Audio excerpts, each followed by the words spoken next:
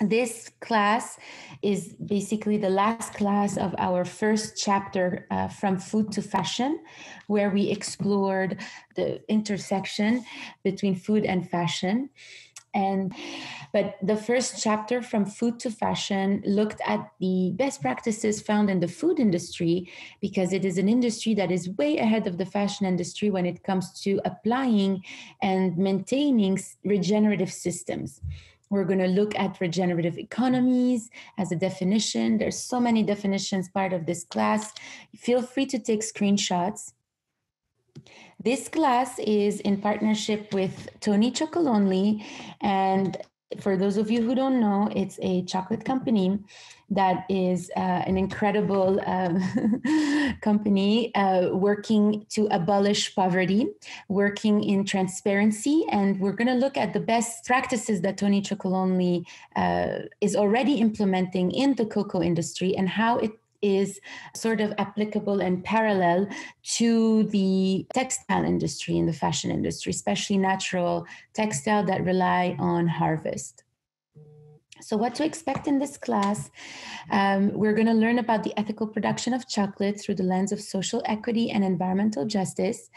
And we're going to look at the origin of the cocoa plant and the impact of colonialism, system design and good supply chain, the ethical production and trade, legislation and accountability. And at the very end, we have a special guest, Dr. Ariel Johnson, who is a food chemist. And we will learn more about her and the relationship between the ecosystem of chocolate, taste, and the environment in which chocolate is growing, and how it impacts taste and how it impacts pretty much everything around the chocolate industry. But before I move to the next slide, I want to read this little paragraph uh, to you. One of the painful questions the cocoa sector has to ask itself is whether the sustainability efforts made in the past decade have led to actual impact. And you can replace cocoa sector with fashion industry because these issues are similar. An even more painful question is whether the scope of solutions is even in the ballpark of the scope of the problem. And we're going to dive deeper into what that actually means through this class. So the first segment is the origin of cocoa plant and the impact of colonialism. In your opinion, and use the chat box to respond to this question, where does the best chocolate originate from? So, so far we have Switzerland, Belgium, great. Latin America as a continent, okay, we're getting closer and closer. The answer is Ivory Coast, with the most production of chocolate coming from West Africa. Um, yes, you were right. There's Brazil, there's Ecuador, and there's South America as a, Latin America as a continent but chocolate comes from Ivory Coast. And this is taken from the book that Tony Chocolonely put together in tracing their supply chain and understanding, not just for themselves, but how they can impact the world in abolishing uh, poverty, abolishing forced labor across the supply chain of the cocoa industry. And we can make the same kind of parallels with the fashion industry because if i were to ask you where does the best cotton come from and i had france italy spain and pretty much all of Europe, even New Zealand, the answer isn't any of those countries. It's Pakistan, where is mainly uh, where uh, the largest percentage of our cotton comes from. And just like cotton and just like chocolate, this industry relies on cheap and easy exploitation in order to survive. When the cost of labor is so cheap and easy to exploit, investing in modern machinery doesn't make sense financially. Today, you're going to get after this class a list of references that help me build this, this class that you are seeing here. And one of the links is the Netflix show Rotten and the one specifically on chocolate. And I encourage you guys to watch it because it is an incredible body of work when it comes to looking deeply at the uh, chocolate industry. Now, you will see there that Belgium, of course, is the biggest player in the business with 2,000 Belgian shops selling handcrafted high end truffles and other delicacies. And I know some of you said Belgium, you said Switzerland first, but Belgium is the one that is the biggest when it comes to treating the chocolate and turning it into, into those chocolate bars that you guys buy and eat. But from forced labor, labor, sorry, a global investigation, a British documentary in 2000 recorded the troubling testimony that children were being trafficked to work in West African cocoa farms, a modern form of forced labor. The deadline to fix the industry was by 2005. We passed that mark, just so you know, and there was not enough change that, that has uh, happened. And because of COVID 19, schools are shut down, and children in many parts of the world have been forced to go to work to provide for their families. And the cocoa industry is one of the biggest, and along with the cotton industry, to employ children and enforced labor, meaning they are forced to work and they are not being paid. They are being enslaved in order to provide for the global supply chain. So Tony, Tony Chocolonely put together a series called Bitter Chocolate Stories, where they have interviewed children, teenagers, working in West Africa and Ivory Coast in the biggest plantations of, of cocoa. And these kids have been taken from school at a very young age, and they haven't been able to go back to school. Their families often rely on them for uh, bringing in the funds. And Tony Chocolonely has made it their uh, mission to abolish forced labor, at least in the cocoa industry, and to encourage and other suppliers to do the same. And we're going to look at their case study and the importance of, uh, of a solid case study that goes beyond charity, beyond the give back model, beyond paying for education, but very much as a regenerative system that looks at redesigning the very system itself. There are other examples that we're going to look at as well um, in the fashion industry, and I will uh, guide you through them. But the entire business of the chocolate industry, and here you can also replace chocolate industry with cotton industry, with fashion industry, is established on exploitation and free labor.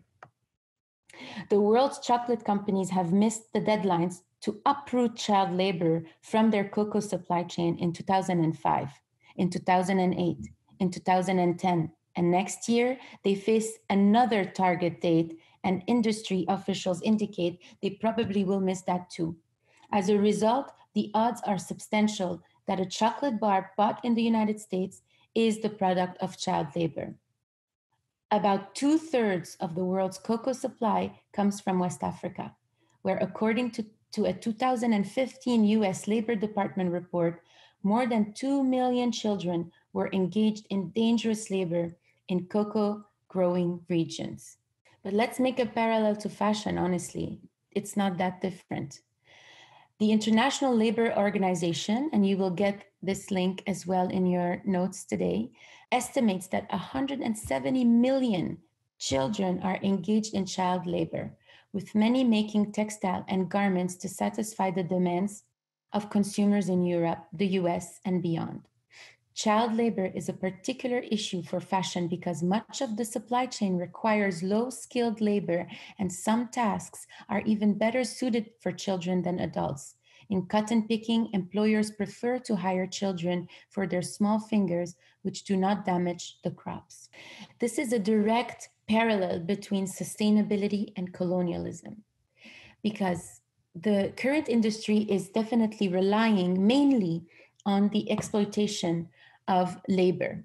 And we're going to look deeper into what does that look like and how can we go beyond it so these are some of the images that the International Labor Organization has documented in cotton picking in Kazakhstan, in Pakistan, in Mongolia, and some of the child labor occurring in Bangladesh and other parts of Asia as well. And again, this is not a slide for us to just look at poverty porn, but this is a slide for us to visualize the relationship that exists between the food industry and the fashion industry when it comes to exploitation of labor, exploitation of the land, exploitation of children across our industries. And we are in 2020. This is not a thing of the past. This is an economic reality. And the reason why the industry relies so heavily on free labor, forced labor, enslaved children is because of the prices they don't want to budge on their margins. We're going to look at the best practices, of course. Similarly to the chocolate industry, the fashion industry's business model relies on exploitation and unpaid labor. Enslaved human beings across the supply chain are picking the cotton, are manufacturing the clothes, are picking the cocoa, and they're not even the ones wearing them. Child labor in the cocoa industry looks something like this, and this is a diagram that Tony Chocolonely has created because the company didn't start by making chocolate. The company started in the beginning uh, by realizing that there were child labor, enslaved children within the cocoa industry. And with that realization, the founder of Tony Chocolonely basically turned himself in into the police by saying that he himself is responsible of the child labor that is available in the chocolate industry because he's consuming the chocolate. And we're going to look deeper into that in the next class about the whole story behind Tony Chocolonely. But just to uh, let you know that the company started as an activism uh, movement to eradicate child labor across the industry to eradicate uh, forced labor within the cocoa industry. And it has led them to lead by example to showing the industry what is possible because there wasn't any case study available to show that something else could exist some stats of course uh, about the child labor in the in the cocoa industry and here you have the color coded uh, children not working versus children doing hazardous work in the cocoa production that are striped children doing other work in the cocoa production, and children doing other work whatsoever across um, the supply chain of the cocoa industry. So, child labor is something that, you know, in 2020, I cannot believe we're talking about this. and of course, it's the idea that we rely on children in the global south to provide for adults and other children in the global north is basically what more do we want in terms of an example of what colonialism looks like in today's day and age under these economic pressures that we are facing? So how can we do better? Sustainability and colonialism are intertwined. Uh, exploitation of labor and of resources in the cocoa and in the fashion industry stem from the very systems of oppressions that were imposed on the global south under the guise of progress and advancing developing countries. The direct impact of colonialism has been to impoverish, destabilize, and weaken the countries and territories where natural resources were needed to achieve imperial expansion. The only way forward is to design a new system that's it. There's no other way. We can't just raise more money for charity. We cannot like there charity alone cannot hold the pressure of a broken system.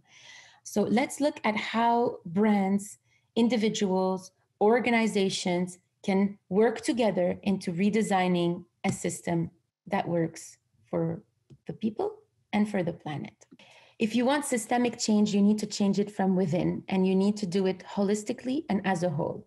And this is a wonderful piece of wisdom from the Tony Chocolonely team because most of the time there is this understanding that we can boycott, we can protest, we can vote with our dollars but all of these things are happening outside of the of the system that we want to be changing yes we are all product of that system but at the end of the day if we do want to see change we have to change from the inside how many of you have read the book No Logo by Naomi Klein? The way that this book is structured is that it explains this idea of a brand. And it also talks about what a hollow system is and how it's designed and how most brands rely on this hollow system to exist.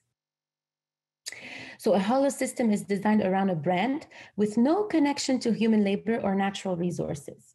So, it looks something like this. You see, the dotted lines are related to the traders, which are a conglomerate of people. It's very decentralized. It's not just one trader, it's a bunch of traders that gather the resources and the labor on behalf of the brand. And basically, everything that exists around the brand is around the logo, the marketing, the messaging, the communication, and talking directly to their uh, market or their consumers.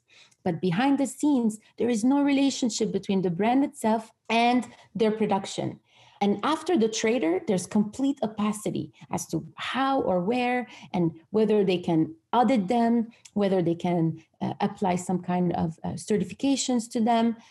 Beyond that point, it's completely opaque. And it's very hard for brand to reverse engineer. Once they are a hollow brand it's very very hard for them to reverse engineer and try to do things that are better for the world. So it looks something like this. The desire to go beyond this opacity is rare and generally the work of activists or idealists. And again the activism work that people are doing is oftentimes unpaid for not compensated. Like how can you pay for activism? How can you pay for someone wanting a better world so beyond the point of the opacity, it's basically there's a a big jump. I know this. I should have put like a, a, larger gap between the opacity and the water because it really takes courage to go beyond that point. Regenerative systems designed with both people and planet look something like this. So when we are redesigning a system, we want, of course, there's a logo, there's a brand, there's people about you know buying what they believe in buying something that they relate to um, and oftentimes a logo and a brand is the the closest thing we have to identifying with a product identifying with an object but the way that we want to design is where the brand is closer to their supply chain is also feeding into cooperatives. We're going to look into that. What are cooperatives? And we're going to look at being directly related to factories, directly related to the assembly line, directly related to packaging, and while supporting the farmers as part of the cooperative and directly linking them with the factories. There aren't any legislations, so all of that work really relies on voluntary action. And we're going to look a little bit at that at the very end of the slides. But Tony's Chocolonely five sustainable sourcing principles are paying a premium uh, and fair trade wage, engaging in long-term relationships with the farmers, building and empowering strong cooperations, and I'm going to explain what, the, what these are. We have a definition. Continuous improvement in production and quality, traceability from bean to bar. A similar system and a similar, uh, basically, uh, framework is also found in the brand Veja, and we're going to look at it a little bit later.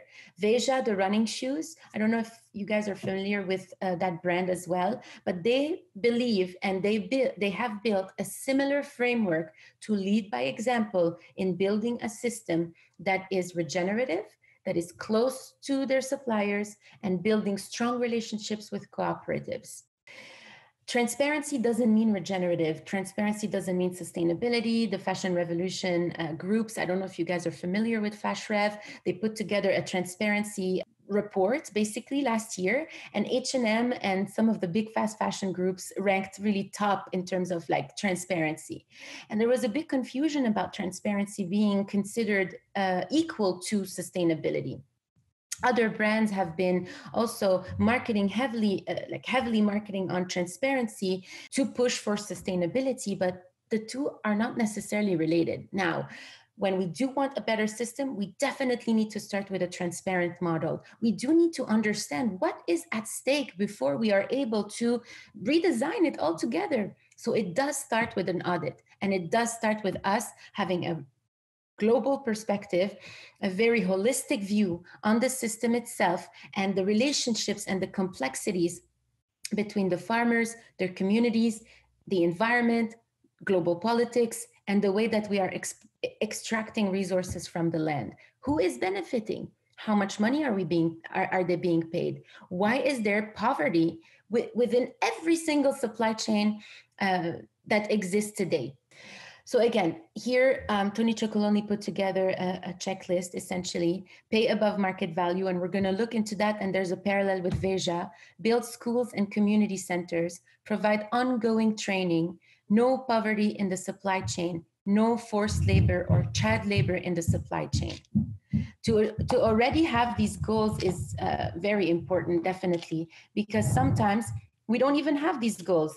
And then, therefore, without having big, bold goals, we are not able to basically reach them. So it definitely starts with transparency. It definitely starts with having big, bold goals in order to gear our efforts towards something. Let's look at an ethical production and trade beyond certification.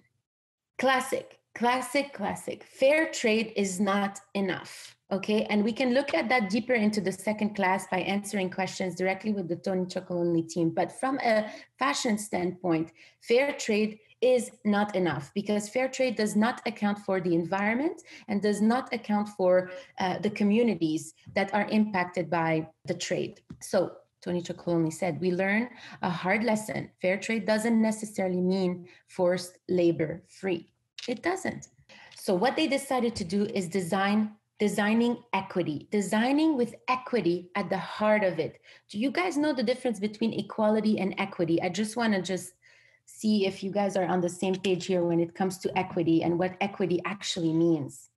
Inequality in the cocoa chain and the resulting extreme poverty are the root cause of forced labor, illegal child labor, and deforestation. And at Slow Factory, we work at the intersection of human rights and environmental justice. And we've been doing so for almost 10 years. And the relationship between the two is basically undeniable when we are talking about, uh, you know, supply chain, sustainability, uh, climate positive solutions. Fair Trade and Tony Chocolonely share their vision on living income and use the same model for calculating the cocoa price that enables farmer to earn a living income. Fair Trade and Tony's Chocolonely have improved existing models, integrate widely accepted benchmarks and research, and share their insights with the chocolate industry on the living income reference price for cocoa. We call upon all chocolate companies to make a living income the norm and start using this model. So that is basically how they are giving back. They worked closely with fair trade in expanding their model because fair trade was not enough and was not built to eradicate poverty, was not built to eradicate child labor.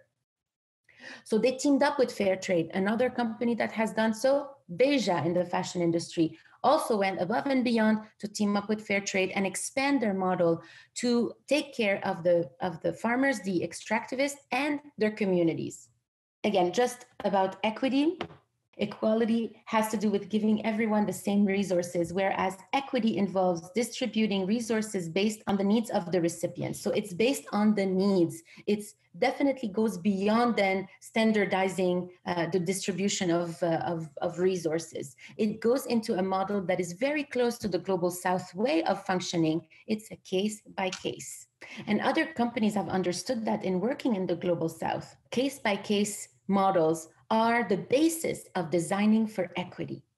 So, applying progressive system design to the existing supply chain. System design in the fashion industry can be modeled after the progressive system design found in the food industry, where deeper relationships exist between both food and fashion because they both rely on agriculture whether it's cotton, linen, bamboo, or farming, wool, cashmere, leather.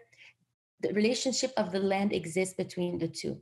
We worked with FiberShed. I don't know if some of you are familiar with FiberShed. FiberShed is a non for profit pushing and working and empowering regenerative agriculture right here in the United States and abroad in the global south. And with them, we worked on a series to explain what soil to soil means in the fashion industry mainly because that's where they work. But of course, the model can be found as well in the food industry. In fact, in the food industry, this model has already been implemented because the organic food and farm to table concepts already exist uh, in the food industry because uh, the public is much more um, aware and afraid of what goes in their bodies as opposed as to what goes on their bodies and we are trying to push the boundaries and really embrace this idea that food and fashion are really relying on the same resources which is the soil so let's build a model that goes beyond fair trade and beyond the certifications established by the global north to police the global south. So just hiding behind a certification is not enough. It's not enough in 2020. We have to go beyond. Think about the guy that's diving beyond the opacity. We need everybody to be empowered and feel like they can be idealists, they can be designers, they can be activists, and they have the tools and the power to redesign these systems. Now, there are two categories mainly in the fashion industry raw materials and labor and manufacturing. Same exists with the food industry. Raw materials uh, cocoa in the case of the Tony Chocolonely, but it can also mean coffee because there is also child labor found in uh, in coffee. It pretty much in everything that comes from Africa, as Africa as a continent has been deeply impoverished by colonialism and the conglomerates of the global north, uh, completely extracting its its resources without um, designing any kind of support or system or regenerative systems or regenerative economy around the labor itself. So we're going to look at that together. So, what are extractivists? Extractivist is usually used as a pejorative term, as a term that is a negative term that basically describes the people that are just extracting resources from the planet. But extractivists have been taking back that term, especially for the communities living and sustaining the natural habitats uh, that provides for them and for their families and for their communities. And in the case of Tony Chocolonely, it's the cocoa industry, it's the cocoa plant, the cacao. The new definition of extractivism is the practice of extracting resources from the earth, all the while maintaining, preserving, and sustaining said resources in a regenerative and respectful way. Cooperatives, a farm, business, or other organization which is owned and run jointly by its members, who share the profits or benefits. So, cooperatives are community run organizations that manage the resources, set the prices at which these resources will be sold to the global north, and make sure that every single member of their cooperative is gaining and being paid a living wage and sometimes even above the living wage so that their communities can thrive. And by building strong cooperatives, by investing in cooperatives, Tony Chocolonely was able to reach their goals faster, uh, specifically on eradicating poverty within at least their own supply chain. Which brings us to regenerative economy. These pictures are taken from the Veja trip that we took recently. I was personally invited to go to Amazonia to explore the supply chain of the Veja running shoes, particularly the sole of the running shoe made of wild rubber, wild rubber that is found in the Amazon rainforest and we stayed and lived with the communities that live and work within the Amazon rainforest in extracting the natural rubber from the trees, all the while maintaining the livelihood of these trees, the livelihood of the ecosystem, and doing what we call environmental services. Veja, similarly to Tony Chocolonely, has uh, invested in the cooperatives that uh, are protecting these uh, communities not only that, they raised the price of rubber by at least seven times more than the global market so that their communities that are extracting rubber for Veja are able to sustain their communities, build schools, you know, and, and, and basically retain their youth within that community. Because without the youth, without the health of these communities, the rainforest loses its uh, value. And if the rainforest loses its value, then you see what happens you know there are mass fires that are being created by by people that are on purpose destroying the land so that it can turn into into pasture to to raise cattle so, by elevating the value of the rainforest, Veja is able to maintain these communities, but not only that, is also able to sustain the livelihood and the ecosystem within, within which these communities exist. That's regenerative economy.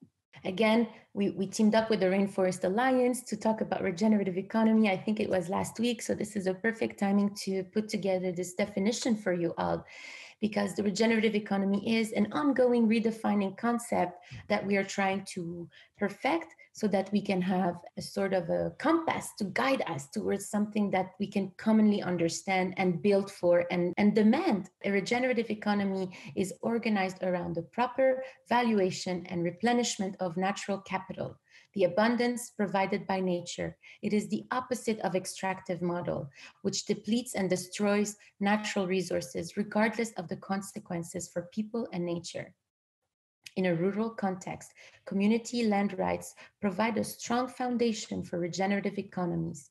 These rights enable local people to harvest the fruits of their own labor and steward their precious natural resources in a way that fosters ecosystem health economic stability, and community well being over long term. And here we've broken it down into the eight principles of regenerative rural economy health and resilience in the communities, diversity and cross fertilization. So, very much rooted into agroforestry, circularity flow of money because of the agroforestry, which means we're planting multiple things beyond cocoa and or beyond coffee and or beyond cotton. Then there is a, an abundance of economy maintaining the balance of the ecosystem of the communities awareness and interdependence interdependence, sorry, holistic definition of wealth, adaptation and innovation amid constantly changing conditions, and shared prosperity and participatory design making decisions. So, after that, you can completely understand that a brand is an ecosystem. From the extractivist, there are each farmer basically uh, provides for five members of their community and then there are the schools related to that health and safety let's take a look at it Multiply that by the number of people involved in a supply chain to calculate the impact a brand has on human rights and environmental justice. So this is modeled after the socio-economical system model of Urie Bronfenbrenner in 1979, where it starts with the individual, the micro ecosystem, families, schools, neighborhood, the mesosystem that incorporates these communities, families, and these communities' resources.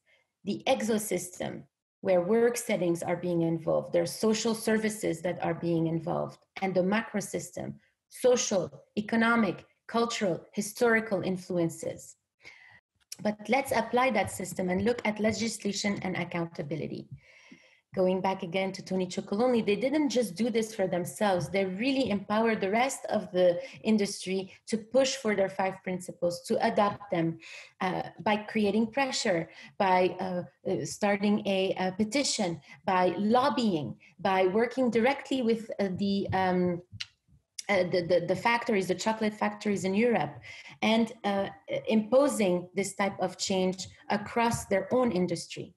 Do you guys know the difference between responsibility and accountability? So you can see here that in the boat, all four of them are responsible of, they're all responsible of what's going on.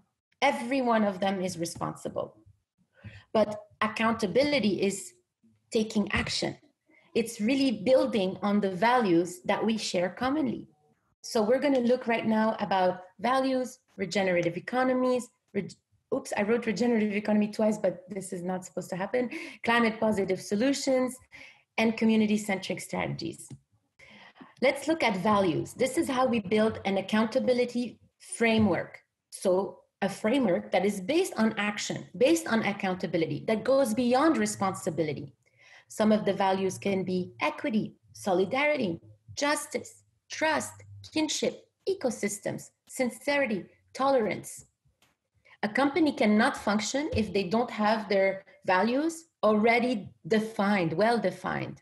Or it can definitely function, but it will continue to exploit at a rate that is alarming and that is not encouraged at this time because we only have around eight years before we can address global climate change in an effective way. And we need everyone.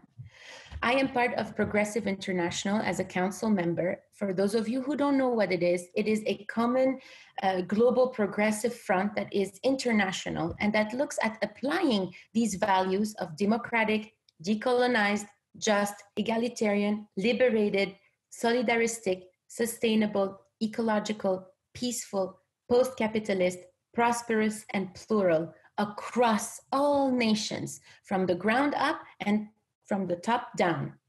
And why am I proposing these values? It is for us to look at values that are bold, that are progressive, that exist out there, for brands to take um, to take this into uh, as an example. We want to see the values that brands are sharing with us.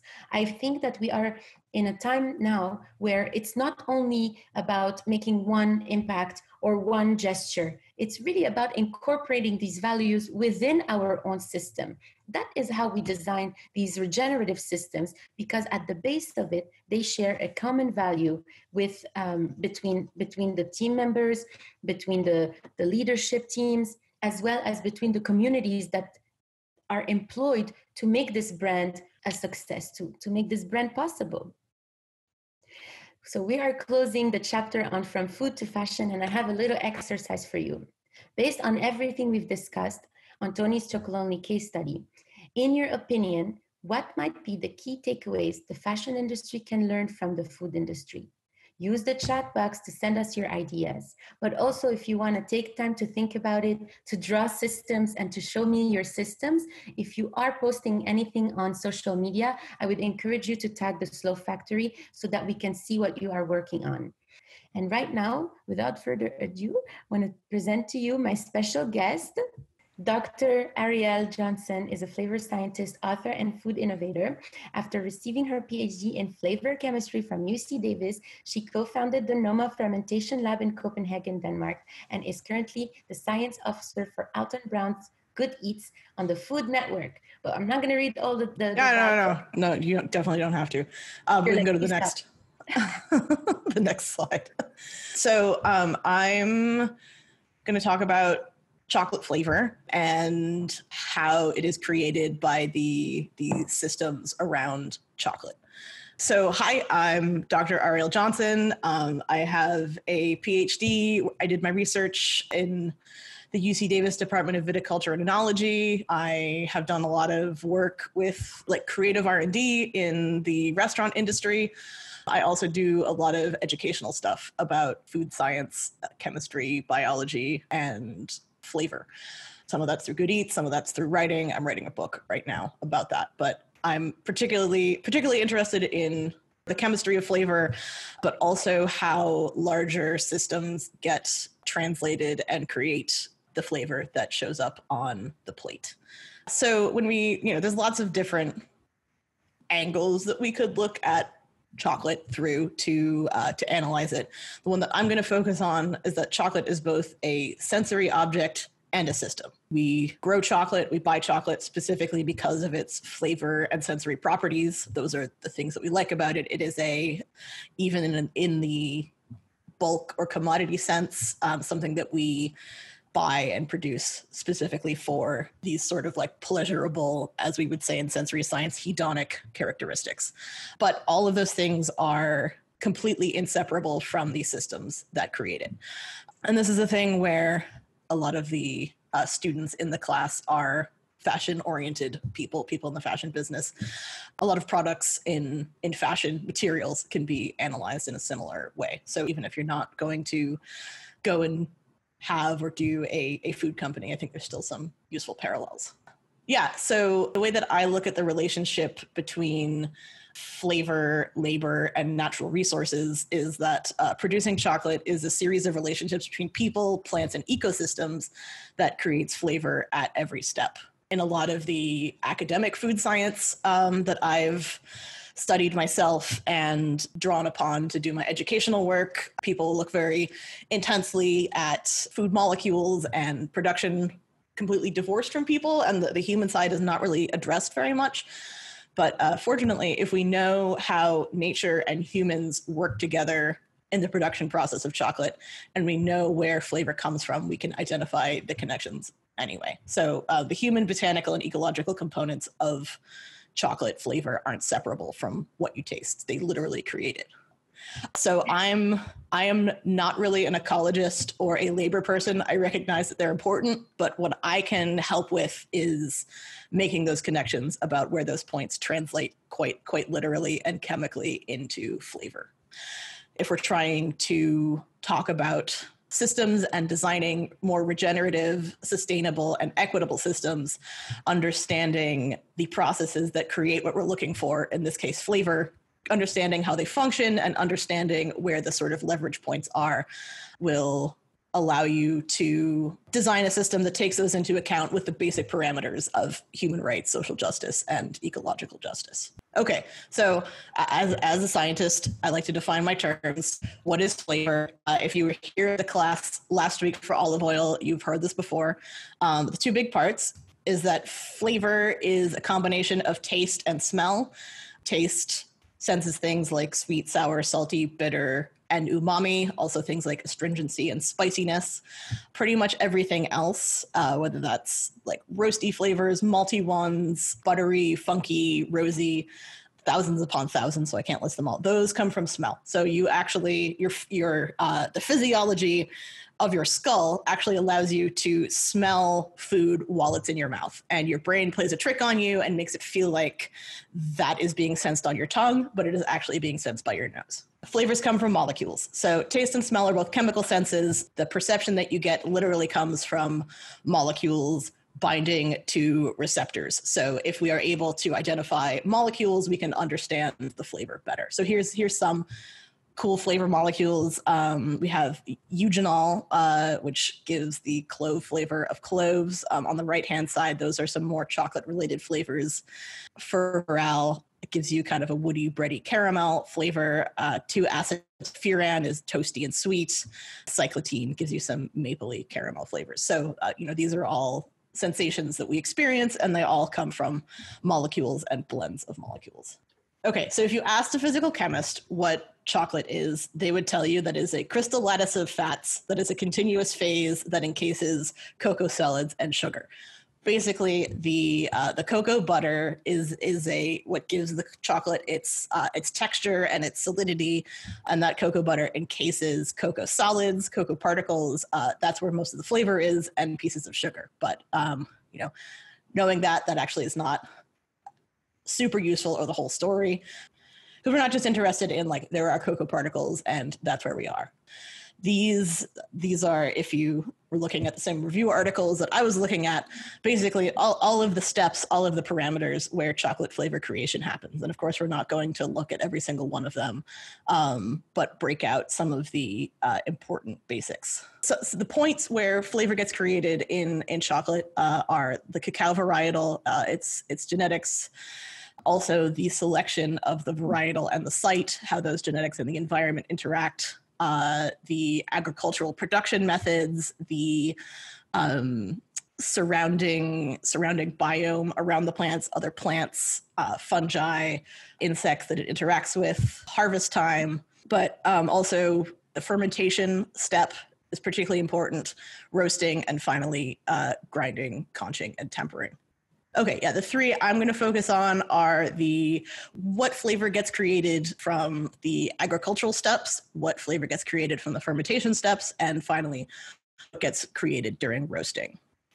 Cacao, chocolate cacao comes from the seeds of the Theobroma cacao plant. Um, it comes in these sort of thick pods with uh, fruity flesh around the seeds.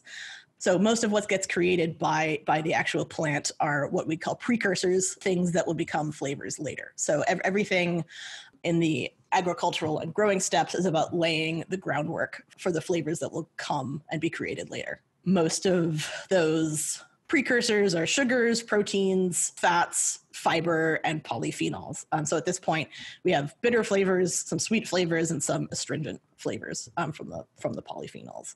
Those are basically antioxidant molecules. The plant has been tended and shepherded and harvested. The next step is cacao fermentation. This is not super obvious in the final flavor profile of chocolate in, in a sort of intellectual way. I mean, when you when you taste chocolate, you don't necessarily think of it as a fermented thing. It doesn't really taste like cheese or like miso or anything like that. But this is like completely essential for later flavor development during roasting.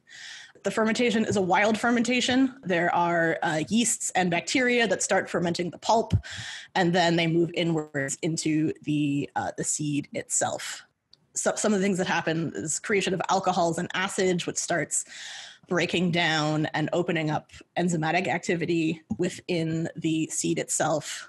There's breaking down of proteins and carbohydrates into more reactive reactive things that will create flavor later, and also the oxidation of some of those polyphenols. So this this fermentation stage actually helps temper some of the bitterness and astringency of those polyphenols.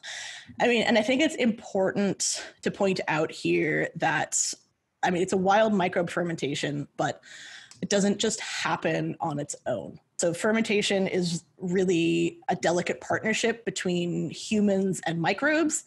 And the human role is making sure that the microbes have the things they want to eat, uh, the right amount of air exposure, the right levels of temperature and humidity. And in terms of doing their thing, in exchange, the microbes will transform the ingredient that they're fermenting biochemically and create new flavors at the molecular level. So this is less about like, oh, fermentation happens, and more a really tastably evident example of the interaction between labor and nurturing and flavor development.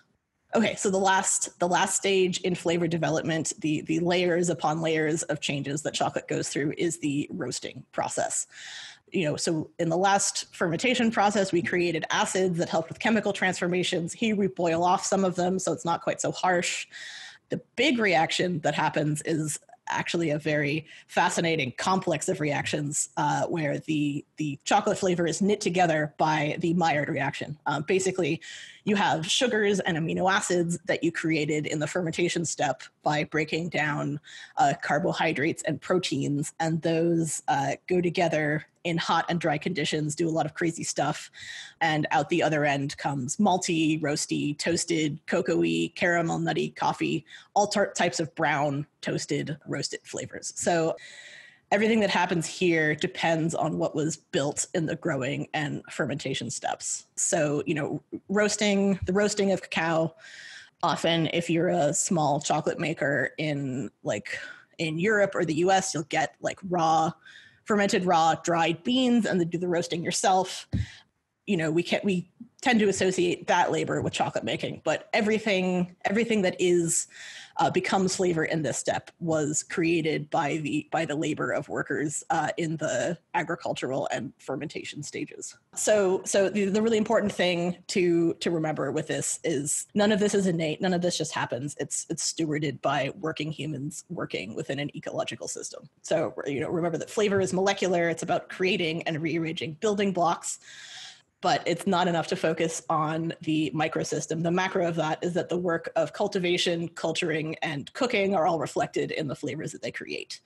This means that human work and labor and the ecological experience the plant goes through, the ecological interaction between humans and their environment is literally tasteable. So, since sustainability and equity only work at a systemic level. They're not like static things that we achieve. They are systems that we're constantly working on. Flavor is also a system. It comes from a system. It's it's produced in a system and it reflects the system. So knowing how these two systems interact a little bit, knowing where the leverage points are, um, can help free you to redesign a production process that put these systems together in a better way. Thank you so much. Oh, my pleasure. I I mean, uh, this is like what I love talking about. So uh. me too. Thank you so much, Arielle. I'm gonna click on the Q and A. So thank you so much, Arielle. Class, I hope you enjoyed it. I hope you have a lot of questions. I hope it was informative, inspiring.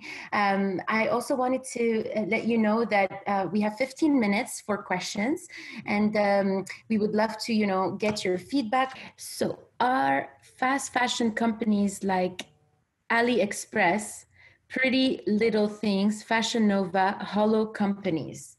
I haven't audited them, but the answer to that, AliExpress is like Amazon. So they are definitely not related to the production of the items that they are selling. And I, I can't I can't for sure speak to all of it, but any company that isn't really rooted in the communities that they are employing or extracting resources from are considered hollow companies. In the book of Naomi Klein, she uses Nike as the example. Nike as a large American corporation that is recognized by the swoosh logo and the cult following of that swoosh logo across the cultures, uh, you know, across cultures, basically they have achieved, you know, an international following uh, without having necessarily you know any ties to their production any ties to their uh, resources that are being used to create those garments. And also doesn't have any relationship to how these items these garments are being discarded into the into the, the environment into uh, you know put on on donation tracks to back to west africa uh, to clog up the, the, the markets there. So it's not a, a, a brand that's connected let's say to or grounded into the communities that they are em- employing and someone here, Ariel Crawford, says in the chat that Fashion Nova uses forced labor prison in China. And I think a lot of brands were accused to uh, using forced labor uh, in China and around the world. Again, this is not to shame any company. This is to provide uh, a way out because we can shame and we can blackmail and we can protest, but it's not really changing the course of action that we are facing. So that's why we focus these classes on design and designing new systems in particular and looking at case studies that are available. So I think I, I replied to this one. Who designed this system? Kyla Lopez uh, which system, the, the system that I showed today, uh, I designed those systems for the purpose of this class. Um, they are, of course, you know, cookie cutter uh, systems. They are not appli- apply, like they could be applied. Of course, you can use them as blueprints, but uh, they are not. I mean, they need to be developed. You can start with that. They are great frameworks, but they are not ready to to be implemented. We need to push them a little further. Uh, would it be possible to share examples, if there are any, of multinational companies that have or are adopting a regenerative model? We can work on that. Uh, we can work on that. However, Slow Factory is very um, strict when it comes to endorsing companies. We work with a lot of companies. However, we're not a certification, uh, not yet at all, uh, actually. And we are not here to put together a list of safe brands to, to encourage purchases from. Uh, we could do that, but we aren't doing that as of now. Um, if you are interested, I would encourage for you guys to look into the Rainforest Alliance follow the frog. Their frog is a seal of certification for regenerative systems at least in um, the in latin america uh, where they are working directly with indigenous and uh, local communities that live and work within the, the the rainforest. So check them out and i'm sure you will be able to find uh, some regenerative models there what are the audits recommended to do? I have seen SA 8000 fair labor labor A's and self audits like Higg Index, yes, but not sure which one to recommend for the company I work for since that also involves a fee. Yes, absolutely. There are uh, audit auditors that are um, uh, built on human uh, human basically. Um, judgment. they send a bunch of humans to establish um, whether or not the, the system is okay. Uh, they build risk analysis, but I would encourage for your company to engage with uh, data driven uh, organizations such as, and I'm going to type the answer here Sourcemap or the um, apparel, the OAR, the OAR. It's Open Apparel Registry. Look into those and uh, and see if that is something that uh, you know provides your your company a, a good return on investment because they do audit but at the same time they provide risk analysis they provide the data. It's like a system basically that uh, can be used to uh, build upon.